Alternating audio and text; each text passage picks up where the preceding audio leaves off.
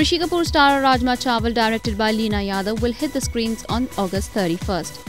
From the big things a father does for his child to the little things a child does for their father, Rajma Chawal is set to bring out all your emotions this August 31st. Rishi tweeted with a photo.